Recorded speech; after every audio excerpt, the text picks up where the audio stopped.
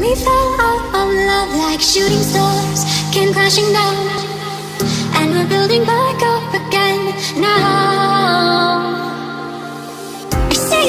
Hi beauties, how's everybody doing? Thanks for joining me. Welcome back to another segment of my what I'm liking and not so much. I also have a special guest, so if you guys would like to hear my likes and maybe not so much likes and hear who my special guest is, keep on watching.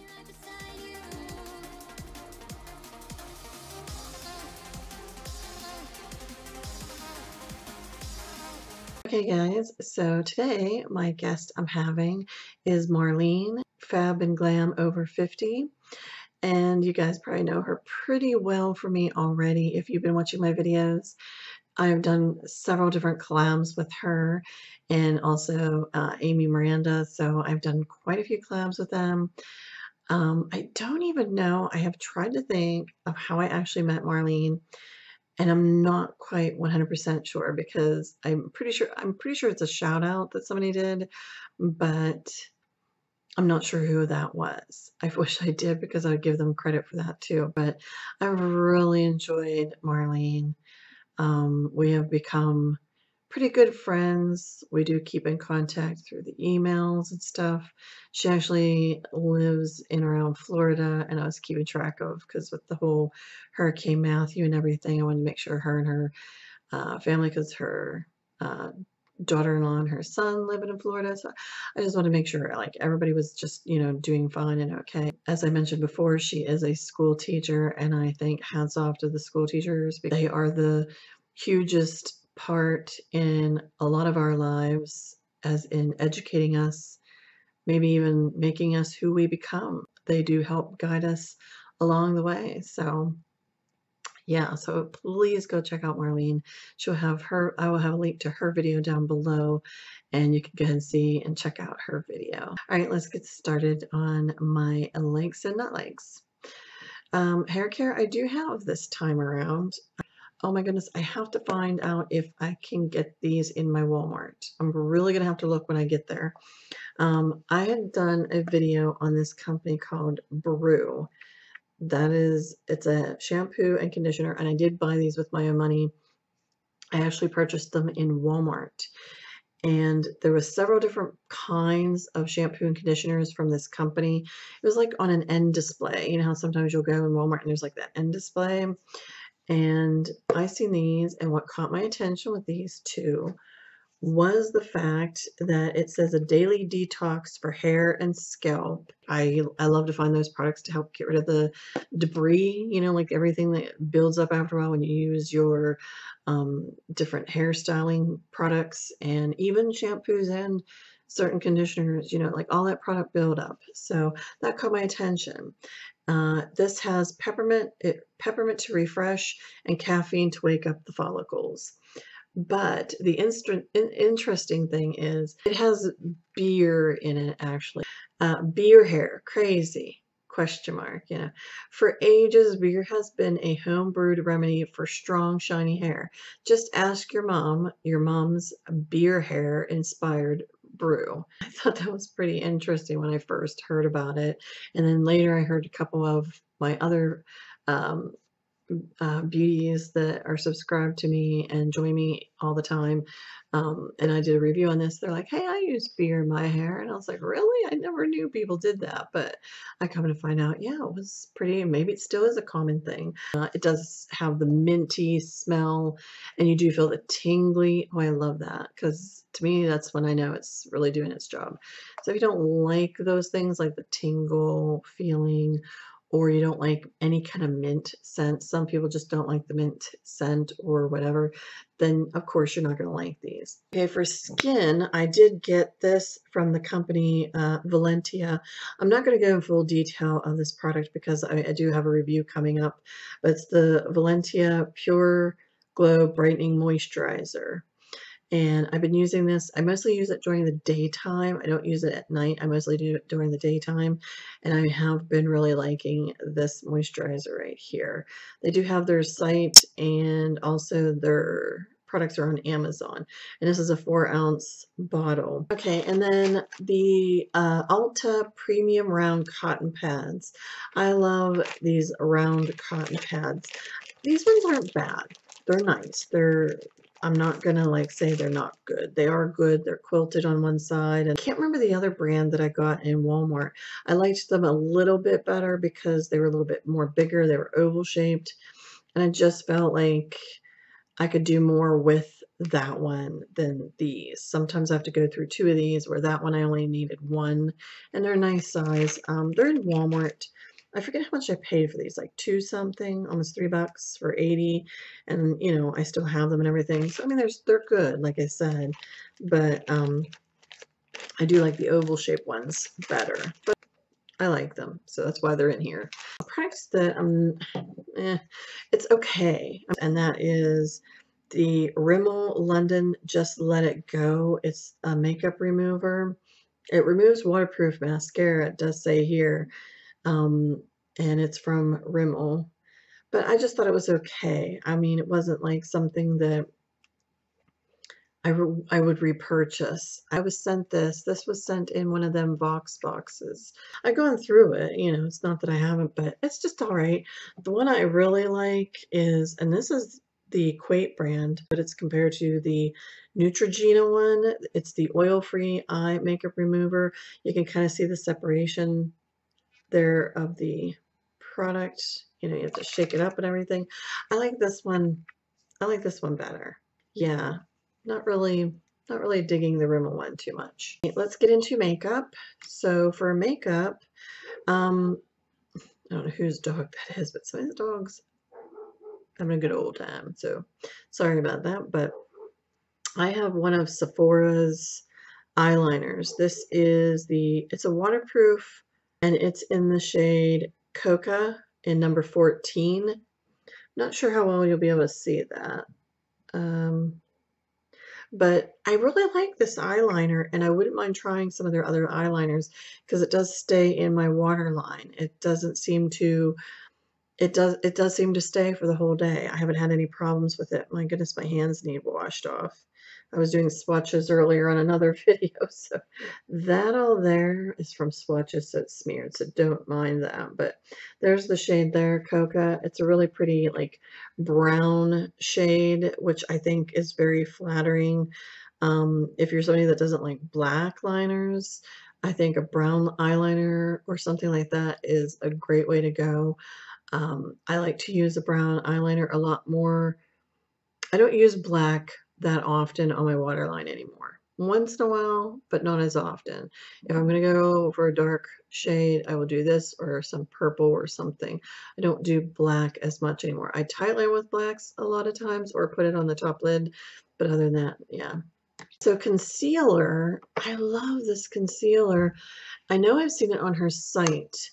I don't know if I've actually seen her her um, conceal. It's the Dream Creams concealer highlighter palette. It's in Porcelain and Fair. This one's in Porcelain and Fair. And um, I do know on her site she has, um, I don't know if I've seen Porcelain and Fair on there. I know I've seen like uh, medium to dark or something like that. So I'm not really sure if this is a product that you still can get. You can go on her site and look or search for it. It's the Dream Cream Concealer. I do know she did come out with a new um, kind of concealer highlighter palette and what it really is is it's a cream based product and you can't see too well because I just mixed them all together but it had strips of different shades there uh, mine I just mix all together and I do use that a lot under the eyes and it's a really really good really good concealer I really like it another Laura Geller product. This one is from her uh, Baked Gelato. Gelato. It's the Vivid Swirl Blush in Rose Water. I do have the highlight that everybody seems to really like. Um, the honey one or something like that. I'd like to get more of these blushes. I did see a couple other ones that are really pretty shades. But there it is right there. Oh my goodness. But that's it right there. It's a really, really pretty color. Um, it gives a nice glow to the cheeks. So if you don't want to put no highlighter on, but you still you'll still get the glow with it. So I, I really like that blush. I love this highlighter and I know they have other shades now and I'm thinking about getting some other shades. Well, one other shade actually. I forget what it is. Is it Devotion? I think it's Devotion. And what it is is it's from Laura Mercier uh, this is her face illuminator. It's in indiscretion. This one's in indiscretion. Now, it was a limited edition, it seemed like, for a while there, and now all of a sudden it seems like it's permanent. I know she does seem to do that a lot, which thank goodness, because, oh my goodness, I, this is probably one of my favorite highlighters of all. Seriously, it really is. Now, this has more of a golden sheen Right there it is. But it looks so natural. That's what I like about it. Like there's some highlighters, and I, I don't mind them. I'll wear them. But there's some that don't look natural and you can kind of tell. So I try to be careful as best as I can. But there's some, and this is one of them, totally, it looks natural. It, it just goes with everything so well, blends so well. And I think the one I want is Devotion. I'm pretty sure I'm definitely going to have to get that one. For lips, um, first of all, what I'm wearing today is one of the um, Bourjois, yeah, Bourjois Rouge Edition Velvet, um, the liquid, I don't know if I want like a liquid lip stain uh, color. This one is in, I believe, it says Velvet, but I don't know if that's actually the shade. Yeah. I think these went, I think these went more by numbers, but this is a number 05. So just look for the number 05. It could be Velvet, but I'm not sure because these are supposed to be Velvet Edition, so I'm not really sure but it is what I'm wearing today and they stain on the lips. I have this one and a peach one. I love the doe foot applicator. It has that little tip on there and oh, they're just so so velvety smooth. They are wonderful.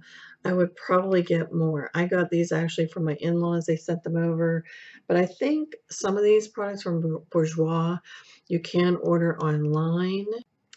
I'm trying to think of the brand and company that this remind this reminds me exactly like dead on I would say dupe and I'm trying to think of the lip product and it's from a big big name Giorgio Armani has some kind of um, lip stains. They have like a red lid, and because I've, I've often thought about there was certain shade I wanted to get, and they're pretty pricey. They're like around almost thirty dollars, close to, and this is that's what this reminds me of the the formula and everything because I had a little small mini Giorgio Armani sample and that's what this reminds me of and it's his liquid velvet kind of lipsticks too or something that stain and yeah, if you want to save some money, I'd get the Bourjois ones. Okay, and then lastly, but not long ago, I did a video. Um, oh, I know what it was. It was the fall collab video that I did with a bunch of other beauties on here with Rosa Beauty. She kind of put it together and everything.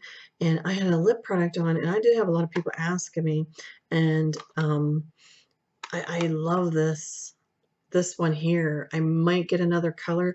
But the other colors didn't really grab my attention. I'm not huge on too many brown rusty shades uh, for my lips. Some people love the brown rusty kind of color. I don't like that for me or it just doesn't appeal to me. Maybe it would look good on me, but it just doesn't appeal to me. But this is from the Hard Candy Metallic Mousse.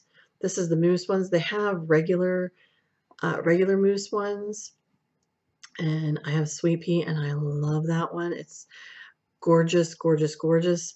I love the packaging.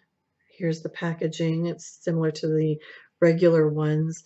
This packaging reminds me of Urban Decay's lip glosses that you see. It reminds me exactly of it because it's like a little slender and it's very sleek and yeah, it's pretty cool. This shade is in Truffle See right there. It's in the shade Truffle.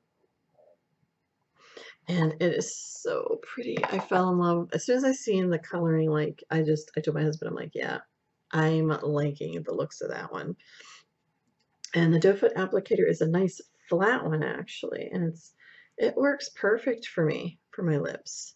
I didn't notice anything major um, with it, you know, like of it being too drying or anything. Um, it lasted a good bit throughout the day for me. I do tend to, with products like this, sometimes put either a lip balm on and then put this on top, or I had like a neutral lipstick, like, or lip balm lipstick kind of thing, and then put this on top. And it seemed to stay pretty good. I haven't worn it by itself because um, I have heard some people say it dries up and gives some cracky. I, I didn't have that problem and I really liked it. Please remember to go check out Marlene's video. Like I said, I'll have a link down below. Please go check her out. Give her some thumbs up and subscribe if you like and you know tell her sent you, tell her hi and um, yeah if you liked my video please give me a thumbs up and um, if you are not subscribed to my channel go ahead and click the subscribe button down below subscribe button down below if I can talk. And you can join me each week. I do at least try to have videos up every week. what the heck's happening in my voice? Hello. And as always, beauties, please remember to be yourself, love yourself, and let the real beauty shine through. So until the next time, you take care. Bye. We'll see you then. Bye. Love you.